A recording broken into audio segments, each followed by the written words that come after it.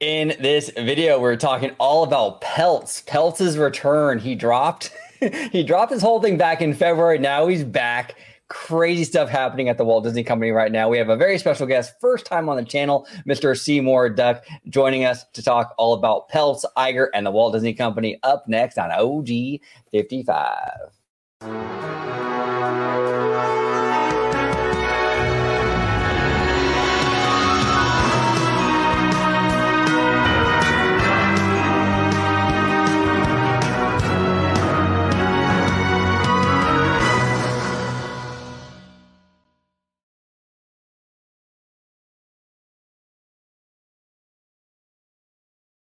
Welcome aboard to another episode of OG 55. We are joined by Mr. Seymour Duck, first time on the channel to talk about this Peltz situation. Seymour, thank you for coming on. Hello, hello, and thank you for inviting me. It's a yeah, thank you for inviting me. It's um, I'm excited to talk about this. Yeah, no, th- thank you for coming. It's, it's an absolute honor and pleasure to have you on, sir. If you could let everybody at home know where they can find you on social media. Yeah, they could find me on twitter.com slash Mr. Seymour Duck. There it is. Check him out. I will be linking his uh, Twitter or his X uh, down below, and uh, definitely give him a follow. Amazing insight, uh, really interesting um, perspective. So make sure you you follow Mr. Seymour Duck. And right over here we got the Italiano. Is this George? I the, guess so. Yeah, I forgot to change my. I forgot to change my title back. That's okay. No, the host of Citrus Corner, George. Thank you for coming back, brother. Absolutely glad to be back and uh, talking some Disney, some uh, some Peltz, and all that good stuff. Uh, but if anyone wants to uh, find me on social media, you could do so on X, formerly known as Twitter, uh, at Disney George. You could also check out the podcast I'm part of called A Walk with Walt. And of course, you'll find me here on my home base at Orange Grove 55 with Citrus Corner, with all that sweet, juicy, but sometimes sticky Disney news and info. There we go. There we go. All right, perfect. Let's let's dive right into this topic. This is crazy stuff. Really, really crazy stuff. Okay, so this is from the Hollywood Reporter. Okay, it says here activist investor Nelson Peltz eyes new push for Disney board seats after boosting his stake. Okay, it goes on to say here the activist investor Nelson Peltz is making another play for the Walt Disney Company. In February, Peltz ended his proxy battle with Disney in a big win for CEO Bob Iger. But with the Hollywood giant stock remaining under pressure despite re- reorganization moves, Peltz is eyeing a renewed push for board seats, according to a source familiar with the matter. And it goes on to continue saying that Peltz's hedge fund, Trian Fund Management, already one of the company's largest shareholders, has acquired further Disney shares, bringing the value of its stake to more than 2.5 billion with a B, Trian is expected to request multiple seats on Disney's board of directors, including one for Pelt, the source says. Now, Seymour, I'll start with you. What are your initial thoughts on this, man? Were you surprised by this move? Not surprised, but like, um, where's, where's your head at with this? To be honest, I'm not surprised at all. Um, Bob Iger has been trying to do dr- dramatic changes within the company, and I'm having a feeling that the board is not allowing him to do it. Oh, that's interesting. Okay, so you feel he wants to go further yeah. But the board is holding them back. That's yeah, fascinating. You, you can see Bob Iger talking like in the interview with CNBC and letting everyone know his intentions of the changes that uh, he wants to do within the company. And I feel like he's doing that on purpose for everyone to understand where he's progressing Disney. Because he has a he needs to do major changes within this company because right now it's not looking great. Yeah, no, absolutely, absolutely. He, he needs to really shake things up so it's it's interesting that um, okay, so that would that would be interesting because then it would be sort of like okay, so Bob Iger wants to do the change, the board is preventing him, so he would he would feel like almost like in a weird way maybe welcoming to this Peltz move, right? Because then exactly. he might. Get, that's interesting. That's an interesting theory. Uh, because I I have a feeling that a lot of people on the board is it's not progressing the changes that Bob Iger wants to do with selling some of the assets, with um, decreasing the costs Wow. Okay. Interesting. What do you think about that, George? You think that, that that's a possibility here where, you know, he's trying to do this big change and the board is like, nope, we're digging our heels and this is the status quo kind of, you know, thing. And, and he's being really held back. That's actually quite interesting. I never really thought of it in that, you know, that way. Uh, of how I kind of took it was the first time around when Peltz initially wanted to be to have a seat on the board, Iger kind of pushed to kind of whatever Peltz was demanding that he was going to do, you know, once he would get a seat on the board, that's how Iger kind of pushed forward, you know, to say, okay, you know, I'm going to make some changes here or there back in February. And then Peltz kind of removed himself. So, in, in my opinion, I feel like that if if that was the case, I would have felt that Iger would have accepted Peltz back then. I actually personally feel like Peltz, Iger, and the board that's already currently there, all three of them are on completely different pages. Iger's not with the board. The board isn't with Peltz. Peltz isn't with Iger. It's almost like they all have their own individual agendas of how they want the company run. And I feel like that's where nobody is on the same page. Oh, so, so in a way, I mean, can we fully trust Peltz 100%? No, but I mean, who really can we at this point? You know, it's like we're all just going by hearsay, and no matter what, it's almost like they're it's a dog eat dog world. like in that business, it's like right. everyone's out to get one another, but it's not doing a thing f- best for the company. So yeah, it, I am curious that if he does get a seat on the board, maybe it is time for a little bit of a change because it seems like everybody that's there now, there's the needle's not moving.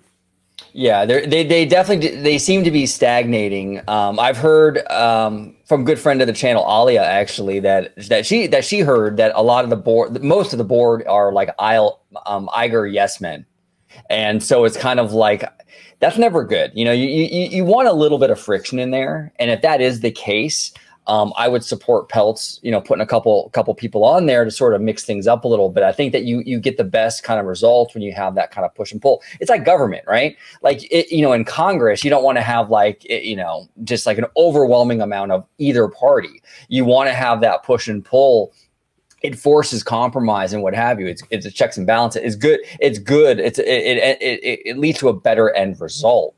Now, um, like Seymour, here's the thing like what do you think um do you think okay so peltz he, his first go at this was in february right? And now i, I was kind of saying like back then like oh, i don't know this is kind of it was kind of too soon i thought in my opinion because iger just came back like around thanksgiving. So he was only in there for like a few months you know? And he and then nelson peltz comes in he's like yeah you know i want to change things up. And at that time i was kind of like well yeah, I don't know, a little premature. Why don't you give the guy a little bit of time to to settle in before you before you start doing the proxy war and all that? Now it's been almost a year. Where I mean, next month it'll be exactly a year. My my feeling has kind of changed on it. I feel like he's kind of um, I feel kind of like Peltz has a little bit. He's on better footing because he has given Bob Iger a year. But what are your thoughts, Seymour, on that? Like, what do you think Peltz at the second go around? You think he's on better footing, worse footing? Oh yeah, he's on better footing, but what we need to realize that there's a lot of things that's happening behind the scenes that we don't know what's going on with that company, what's going on with the boards, and I don't know if Peltz actually knows what's going on, and this is why he wants to be on the board to understand if the company is going in the right direction. Yeah, yeah, no, that's interesting. Yeah, so so get so Peltz is like, okay, get me on the board, then I can kind of see what's happening here, kind of boots on the ground sort of situation. Correct. Well, and that's interesting, Seymour, because it's kind of like the same way. I kind of feel like that kind of happened with Iger and Chapek, right? Because remember, Bob Iger was very critical of almost every single move Bob Chapek made. When Iger wasn't in there, he was like constantly kind of like, oh man, Chapek, you know, there was a lot of that back and forth. But once Iger got back in November, you didn't really see Bob roll back a lot of the, the Chapek stuff right? So it's kind of like the Peltz thing you're talking about. Once you get in there and kind of see it with your own eyes, maybe perspectives change. So I'd be very curious once if Peltz does get a seat and or him and his people get seats. I'm curious to see when they get in there their perspective on things because it does change things when you actually are in the room now and you're starting to see the numbers and and the rationale behind things. You know, what do you think about that, George? Yeah, I mean, I, I think honestly, it, it in the board's mind when all this went down almost a year ago, where they they let Chapek go and they thought, you know what, let's bring Iger back because he was the the golden CEO, so to speak. You know, he can get us out of this rut and what have you. And it's it's like, okay, well, now we're almost a year, but nothing is happening. So it's almost to the fact of now what is the next step to do? Are we going to continue just kind of in this moderate stage where like nothing is getting done? There's a lot of talk, there's a lot of wording of saying, "Oh, what we might do, what we could do, what we should do," but there we can't keep on relying on that. We need to see change. We need to see movement. We need to see progress. And I, I, as of right now, I'm okay with a little bit of change to see what Peltz could bring to the company, and maybe that's what it would take for him to get a seat, so he can get a better perspective on it. Because, at, you know, as history kind of repeated itself, the Walt Disney Company kind of was in that same forte before Eisner and Wells came on board, right? You know, and then you have someone who was from uh, Paramount and someone that was from Warner they came in to a company that they had nothing to do with. They changed things, they shook things up, and they did what they had to do that needed to progress from that time. When it then when unfortunate Wells is passing, then that's when uh, Eisner's kind of motivation and and uh, hunger for it kind of dipped down, and then he also had his uh, his heart surgery and what have you. So I mean, a lot was going on between that ending time but we still needed both of them during the time when we when the company needed it most. And I feel like history is kind of repeating itself that maybe it, possibility Peltz might be the answer. It's it's possible. I mean, you know, you kind of these kind of things are risky, right? Because you never know where they're going to go, and and and that kind of it, it's a kind of a perfect segue actually into what I was going to bring up here, in that with Peltz, you know, like I don't necessarily, I'm not necessarily adverse to someone from the outside coming in and shaking things up because I think that's kind of good for Disney every now and then. Like you mentioned, George, um, Michael Eisner and Frank Wells, they were outsiders and they came in, they shook things up, right? Sometimes you kind of need that fresh eyes, the fresh blood in there to kind of make moves, right? Um, a lot of times these people get like entrenched. Um, like Seymour we're talking about, like he, you know, about the, the the board not wanting to do like the, the big changes that that are needed and things like that. Um, the only thing that the only issue that I'm having, and I'll go to I'll, I'll go to you first, Seymour. Um, I'm very curious about your opinion on this. Is that I, I like the idea of maybe Peltz coming in and shaking things up. My issue though is it says here one thing that is not clear in the new Trian effort is whether former Marvel chairman Ike Perlmutter is involved. Perlmutter, a friend of Peltz and a fellow Palm Beach resident, was involved in the last proxy fight and held millions of Disney shares. Now, uh, Perlmutter and Bob Iger don't get along at all. They, from what I'm hearing, they absolutely despise each other, right? So I my antenna go up a little bit with this if he is involved in the second go around because oh man, that's that's gonna be rough. You have when you when like you want to have you want to have maybe friction and pullback, but you don't want to have just outright animosity. What do you think about that, Seymour? You, you, do you trust Peltz if he's if he's connected and bringing Perlmutter into this? Do you trust him, or is this is this maybe a little more hostile than we think if if is involved? Um, I think we should trust him. Um, because the changes needed to be done. Um, though we need to be a little bit skeptical if he did bring him in yeah. Yeah, I, yeah, maybe cautious, cautiously guarded or whatever. Yeah, it's tough, man. It's it's really really it's tough. It's it's different though because the there has been a little bit of changes though regarding with Disney with the cost cutting, and back in like uh, January and February, uh, it slowly started to trickle down when Iger came. For example, in like uh, Q, like in September and December quarters, they're even like their streaming services, 1.5 billion dollars losses, 1.1 billion dollar losses, and then in February he wanted to see that, you know, bring it down because he wanted to uh, cost cutting, and I feel like now that he wants to be on the board, you don't need to have that guy with you coming in. I feel like oh. it's more like knowing what's the strategy that Bob Iger wants to do. So I feel yeah. like we should trust him. Okay, that's interesting. Yeah, I want I want to trust the guy because actually yeah. I really do believe I really do believe that I think that I don't think Iger is going to put up much of a fight with. Like the last time we saw Iger really push back, you know, back in February, he was really pushing back against this, and did, the Walt Disney Company was a, it was an all out PR blitz to to trash Peltz and to the whole thing. It was back and forth. I, I was saying on Twitter, I forgot who I was re- replying to, um, but I was saying on Twitter that I think it's a real possibility that Peltz and Iger and the and the board they work something out with him, and they they they allow him to come on the board and maybe one other person or something, and they work something out because I don't think Iger wants this multi front war. Um, you he can't afford now a, a, thing with Peltz on top of everything else. So I think it's in the best interest of the company and even Bob Iger's legacy to just say, hey, Peltz, let's work something out and bring you on. Now, because I feel like that's a real possibility, I want to trust this guy because I love this company. We all do. And I don't want a snake in the grass, basically. Right. So I want to trust him. So um, I'm encouraged by that, Seymour. I mean, I, I, you know, hopefully he gets in there with good intentions to actually, you know, want to want to make the Walt Disney Company better, and and we'll see. You know, and George, honestly, I, I I feel like that Iger at this point is desperate. Yeah, I, I, think like there's moments where you you see him like before all this occurred, you know, before Chapek took the role and he was and Iger was still the CEO at the time. You know, he kind of had this kind of as I said, like the golden CEO, the kind of like the the chip on his shoulder that like he could do no wrong, he could fix all the problems. You know, as long as he's there, he made how many of the acquisitions between Pixar, right. Marvel, and Lucasfilm.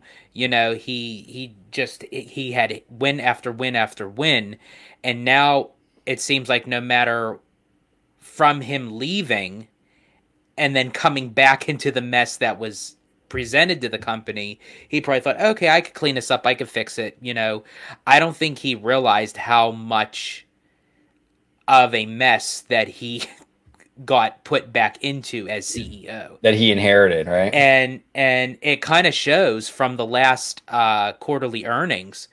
I mean, you could kind of hear it in his voice. I mean, he was not having any of the questions from the companies, uh, from the shareholders, what have you. He kind of was almost like perturbed, where it was like everything that you said to him, everything that you asked, he kind of had a little bit of a, and I hate to say this, kind of like a cocky attitude.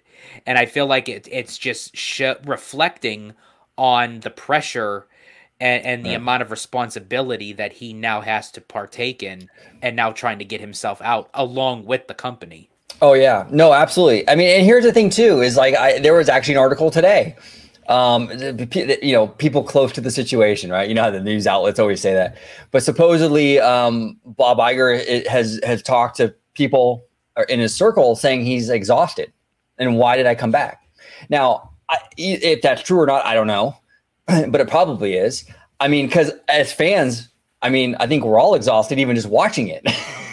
like, yep. like even just watching it, it's exhausting. I can't imagine being the captain of that ship. And and really, this is the thing too. There's a lot of people like on like on these a lot of content creators and whatnot. I'm not gonna I'm not talking crap about anybody, but I just feel like a lot of these um, creators they don't have a lot of patience with any of this stuff. Like, well, I, you know, why has niger fixed everything? It's like, look, could he have handled things better the last year? Absolutely, absolutely. There, there have been mistakes made you know, like like you said, Seymour, there maybe you know he hasn't gone far enough. The board has been holding him back. There's been a lot of stuff going on, but at the same time, this is a behemoth company. This thing is not going to turn around on a dime. This takes time, and whether it's whether it's Chapek, whether it's Bob Iger, or whether you fire Bob Iger and you bring someone else in, it's going to be the same situation for the most part.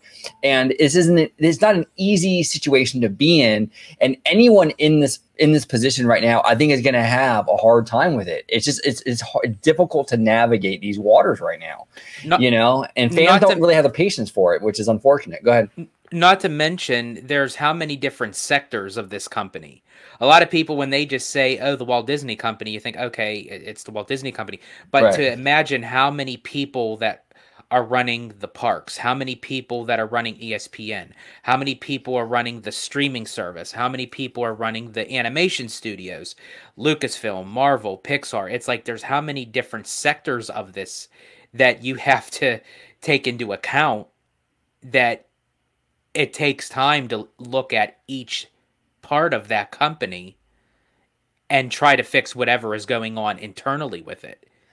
Well, it's, yeah, and, it's not just one switch. There's multiple switches. multiple switches, and it's rock and a hard place kind of stuff. Look at like for example, look at Disney Plus. So with Disney Plus, they have to pull back on the content um, output because a lot of the content they were churning out with Marvel and Star Wars, it was going so fast that the quality started to come down. So they have to pull back on the content, but at the same time, they have to make this thing profitable. So what do you do?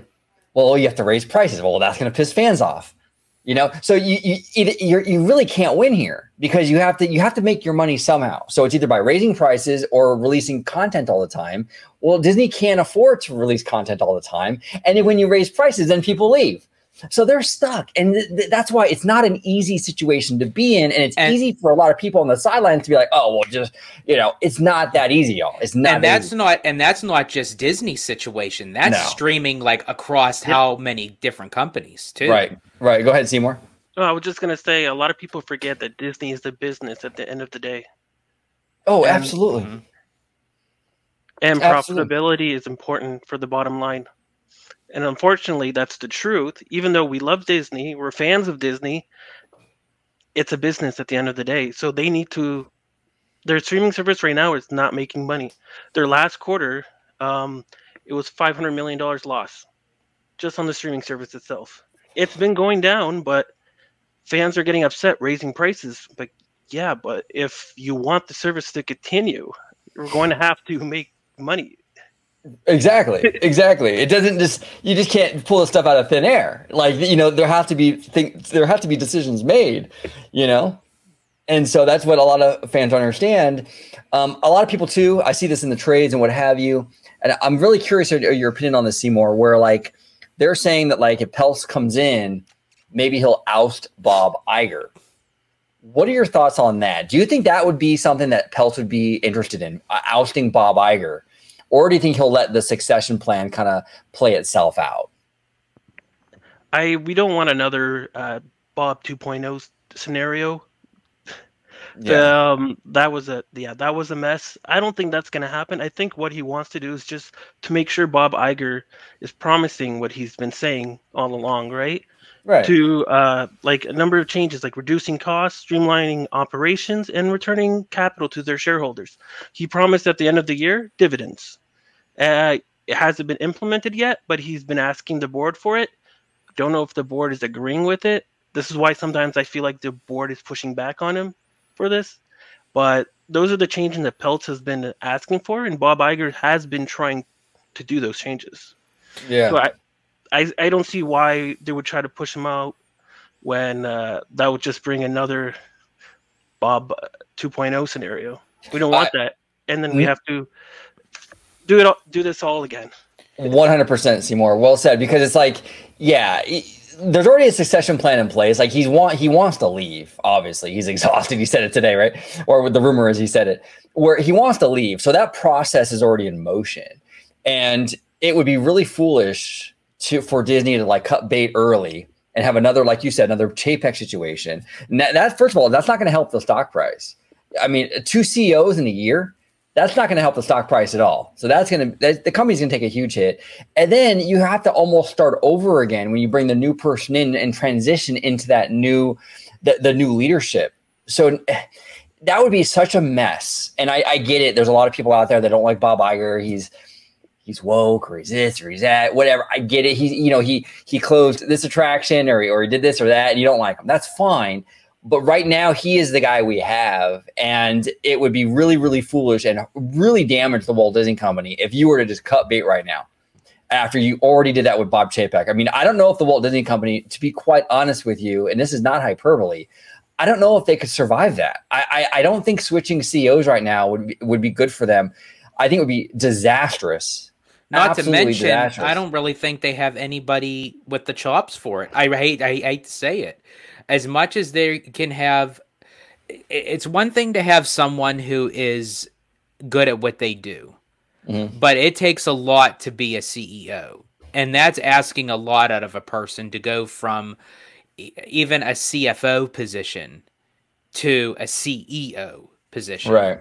So it's almost like I, don't know if in time, but I do agree with you. I do feel like this isn't the time right now to be switching CEOs, but when eventually it does come time for it, I really think that Disney should be looking outside of their company and kind of start kind of uh, preparing said person once they kind of get a good idea of who to bring in to say, hey, here's how things are run, here's how we do it over here.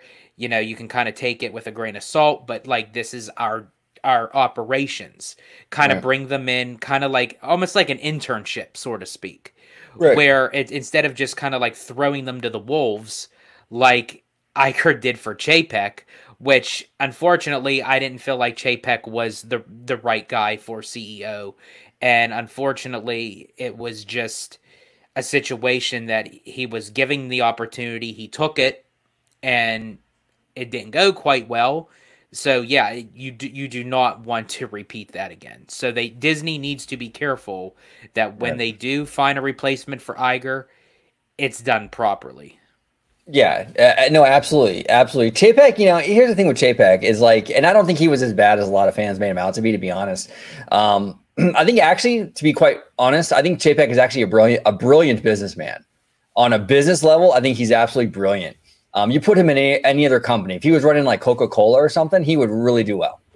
Disney's a tough ant. Disney's a whole different kind of beast, and it's a very public facing CEO position. I mean, anyone who runs the Walt Disney Company is is basically a celebrity you know and it's it's the uncle walt syndrome basically everyone now expects that and so he's just not that guy but from a business perspective if he was running any any other company he would probably do very very well um Well, and he did very well in the consumer products division when he ran that because he was the one that spearheaded the Disney Vault to release the Disney movies for a certain limited amount of time before it goes back into the vault, like the special edition DVDs and the special edition Blu-rays. I mean, it soared. It was very, it was very successful, and he was the one that spearheaded that. So again, kind of going back to what I was saying, you could take a person, they could be very talented and know what they're doing within their own little comfort zone.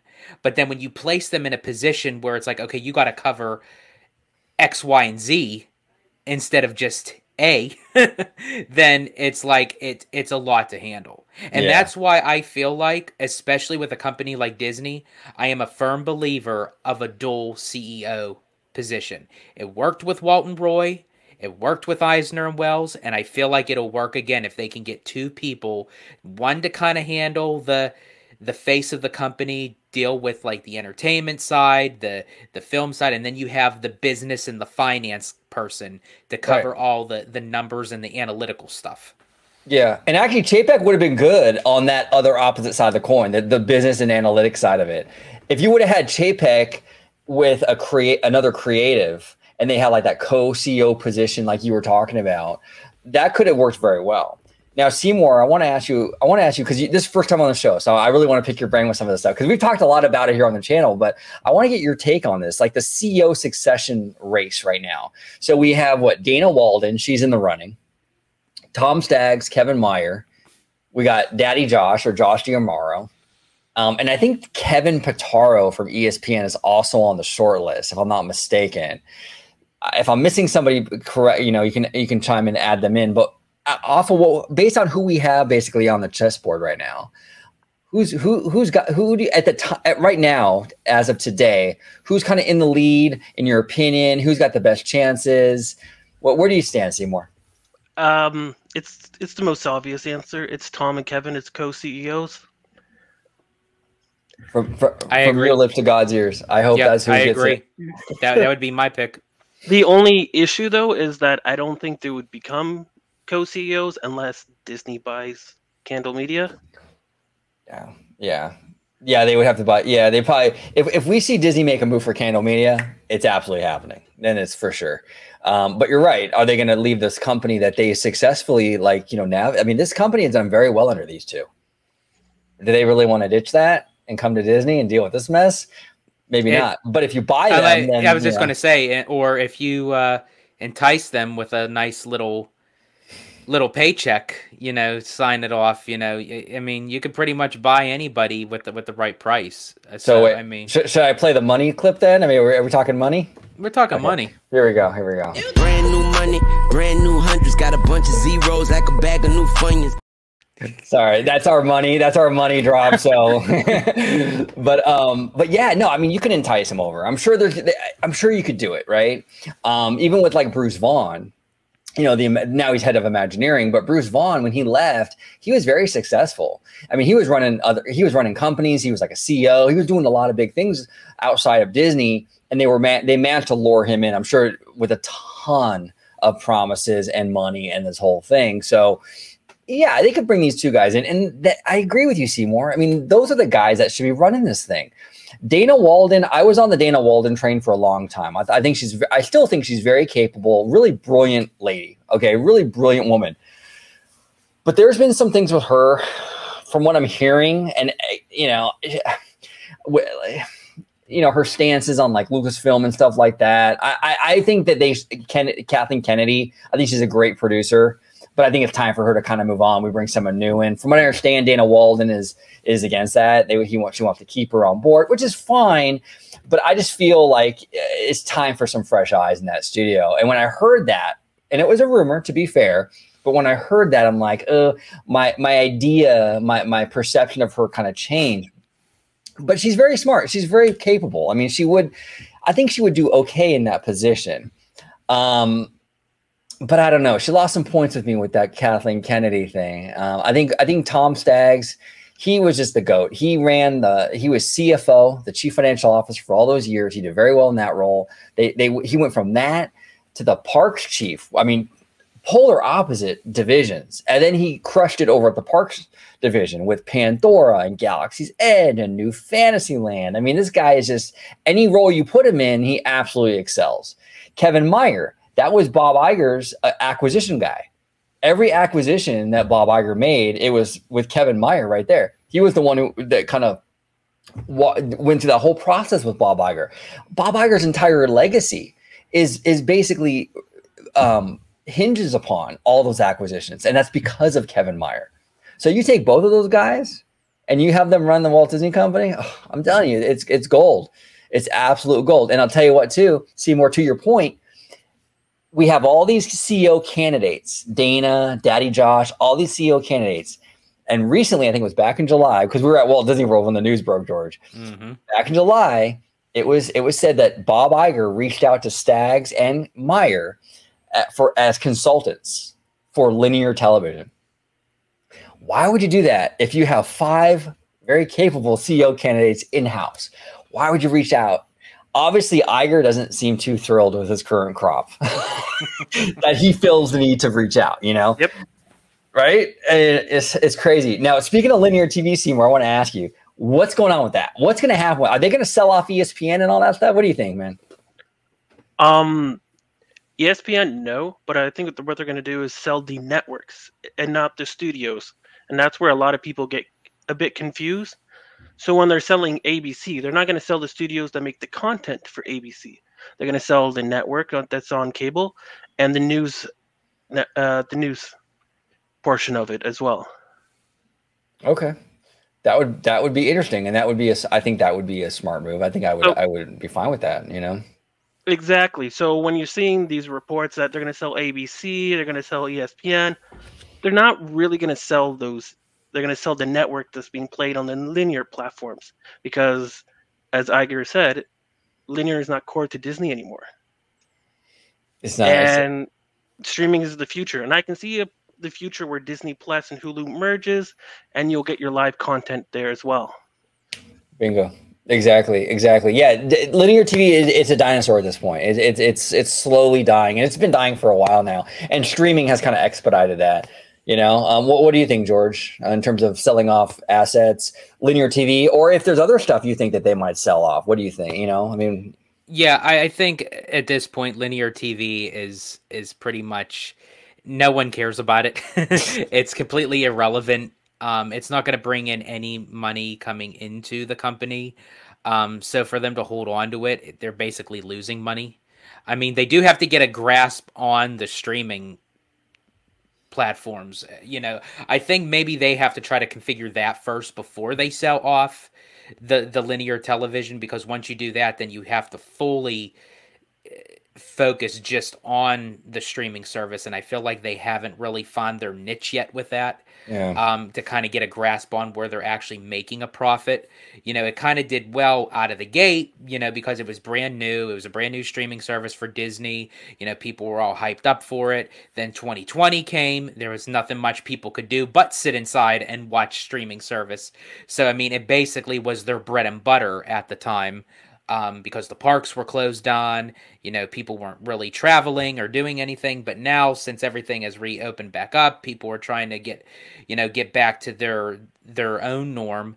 And it's now Disney has to kind of readjust the streaming service, not to the terms of how it was back in 2020, but now how it is with everything that is now reopened back up again.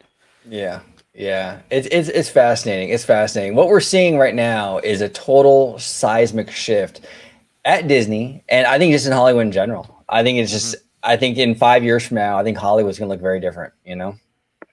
And you can even see Disney testing the waters with this, uh, transitioning to streaming. Uh, for example, Dancing with the Stars, uh, which I think is actually playing right now. yeah, it is Um, actually. My mom's watching it. so they, so if you're watching it live on Disney Plus, they actually have ads. Oh, interesting. Okay. So Okay. and I can see that that's where they're going to be with their future revenues when they have their live content. They're going to implement ads and produce much more, um uh, increase their margins in regarding streaming. Because I think ads is the push that Disney and all the other streaming companies need to do. Yeah, yeah. No, I think you're right on that. Absolutely. That, that's the future. That's where they're headed. That's where they're headed. Now, one last question I want to ask you guys uh, before we go, because we're talking streaming. I, I I'm confused with this whole thing because I, I I I heard, and I could be mistaken, but I, I thought that Disney and Comcast had to. I thought that they were going to settle this by September 30th, the whole like Hulu thing. I thought that that's when they agreed Mm. upon it, but it hasn't happened yet. Like, so I don't know if that was like, I guess did it they wasn't. extend? Did they extend out the the the, the the the vote or the decision or however that works? I'm really not sure. I guess it wasn't like a hard date or whatever, but I thought it was September 30th. I guess not. Seymour, do you, do you know what's going on with the Comcast uh, Hulu thing? Have you heard Uh, anything? Unfortunately, no. Yeah. Yeah. I, I don't, I don't, I don't really know. I mean, that's interesting. I don't know. We'll see what happens with that. That's going to be a And- tough one too, because it's a lot actually, of money. If we could actually add on to that, because there's a lot of speculation Right. right now that's going on that there's a possibility that Universal might purchase Warner Brothers.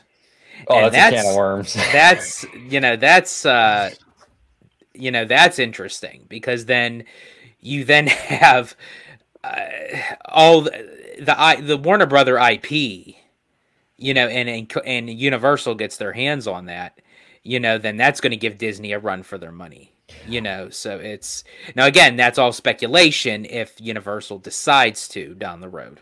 Well, and if they're even allowed to, because the regulatory process is going to nitpick that thing, because that's going to be a massive company, Yeah. you know. And, Oh yeah, that's yeah, that's not have- going to be yeah, that's not going to be uh, pennies and dimes Well, to to acquire that. Well, no, and and these companies, like people think like okay, like Comcast is just gonna like stay the way it is and just buy Warner Brothers. Now there's gonna be the you know this mega like if Comcast were to make that move and buy Warner Brothers, they would almost certainly have to sell off certain things because there would be there would be um like overlap, you know, Overlap. Yeah. yeah, and monopoly issues and all kinds of stuff that would be involved. And to get it through that regulatory process, you'd have to sell stuff. I know Disney when they bought Fox, they had to sell the Fox Sports stuff because it was it was a monopoly issue or whatever. They they they, Right. they, had, they had there was a deadline that they had to sell that stuff by. Do you think Universal could have kind of like in the notion where they how Disney did sort of like with Pixar, mm. where it was like Pixar could be Pixar even though Disney owns it,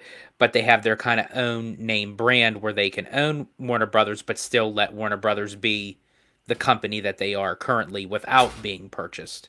Well, well, no, well, they would. Well, I think they would. No, well, I think they would purchase it, but they. But I mean like let it still be like their own. Yo, yeah, I think so. Yeah. Because Warner Yeah. Brothers is one of those brands where it's like it's it's it, Warner Brothers is actually a really strong brand. You know what I'm saying? I mean, I would argue it's It's stronger than a lot of the stuff Universal has, in my opinion. And so I think that they would definitely want to lean into that Warner Brothers branding. Yeah, I don't think they would just like erase all of the Warner Brothers references. I think they would they would they would just own that studio and they would embrace it, you know. Like you said, like what they do with Pixar or Marvel or any of that. So, what do you think about that, Seymour? What, what, what do you think about this idea of, of, of Comcast buying Warner Brothers? This rumor has been going around a lot, and this one that dropped today was actually from Variety. So it's not just from some Joe Schmo site. This is from the Hollywood Trades. Uh, as a business, I understand why. Comcast doesn't have strong IPs. You look at their parks; most of them are from other companies. You, the number one IP at the parks is Mario. Like that's not that's not Universal. That's Nintendo. Right. Yep. And when yeah. you buy Warner Brothers, you're going to get this explosion of IPs from Scooby Doo, DC. Yeah, it it just makes sense. It makes total sense. And then you have all the Harry Potter stuff already in your parks. But but here's the thing. You're absolutely right. Right now they're renting Harry Potter. They got to they got to pay JK Rowling to use it. They got to go through hoops and make her happy. Well, you buy the Warner Brothers, you buy Warner Brothers, and now you eliminate a lot of that, right? Because now you own the movies, you own the IP. It just it just opens all kinds of stuff up for them, you know. Yeah. And like you know, they, they have now they have a whole a whole genre, um, a whole superhero studio with DC. Now they can compete directly with Marvel. I mean, it would be a game changer for them. I mean, that would be something else, you know. That would be really, really something else. And you're right, Seymour. They, I, have been saying this for a long time too, brother. Like the the Universal IP is really on the struggle bus. Their in-house stuff is really weak, you know, and it's all the outside stuff, the Nintendo, the Harry Potter, all that stuff that's really bringing in the people to those, to those parks. And I mean, it's not Madagascar, okay? it's it's it's they have Potter and the Nintendos, and you know if Universal could acquire the Warner Brothers library, because you know the Warner Brothers library is actually very very strong. It's just been really mismanaged over the past twenty plus years. Ever since AOL and and WB merged back in like the early two thousands, that studio has been like really mismanaged. But they have great properties. That's the frustrating thing, you know. And I think if if if Comcast were to like kind of like manage those properties better. I'm telling you, man. I mean, with the Looney Tunes, you got Animaniacs, all that. You have a lot of great content. Scooby Doo you can do a lot plus, with it. Yeah, plus you get the streaming service Max. That's true. Because like Peacock's not doing as great as all the other streaming services, and Comcast right now, their primary their primary business is uh, cable and internet. So when that is trickling down because linear is dying, people are canceling their cable, just keeping internet or even 5G for the future. You got to look elsewhere for businesses, and I can see them trying to get there's I was going to say HBO Max Max now, and get all that IP and integrate it throughout all their businesses. Yeah.